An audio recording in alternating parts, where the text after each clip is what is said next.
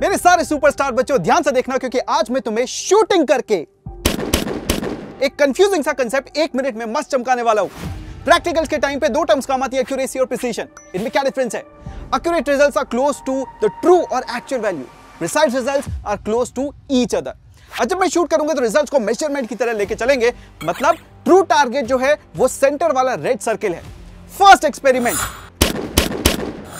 इसके तीनों shot red circle में है और एक दूसरे के पास है। मतलब यहाँ एक्यूरेसी भी है और प्रिसीशन भी। सेकेंड एक्सपेरिमेंट इसके तीनों शॉट्स रेड सर्किल के बाहर है। मतलब यहाँ एक्यूरेसी खराब है बट क्योंकि एक दूसरे के क्लोज है तो प्रिसीशन अच्छा है। थर्ड एक्सपेरिमेंट यहाँ ना एक्यूरेसी है, ना प्रिसीशन ऐसी मज़ेदार वीडियो के लिए जल्दी से सब्सक्राइब बटन दबा दो। मैं हूँ Anupam Gupta your chemistry expert from IIT Delhi till then keep imbibing